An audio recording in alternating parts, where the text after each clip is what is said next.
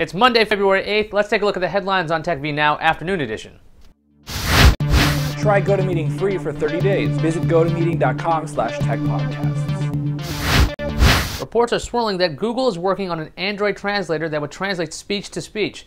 That'd mean you'd be able to speak to your Nexus One in English, and the phone would translate and then speak in another language for you. I'm pretty sure it won't be perfect at first, but over time, this could be pretty cool. Apple told an analyst that it is willing to drop the pricing of the iPad if sales don't meet expectations. The reaction to the iPad has been mixed at best. With this kind of news, you'd think this would wind up slowing sales of Apple's tablet once it's released.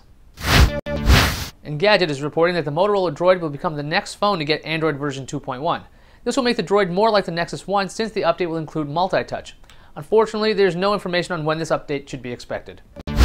That's what's important in tech right now. Remember, you can subscribe to any of our shows, including this one, via RSS on techvi.com. I'm Iyaz Akhtar, and I'll see you later.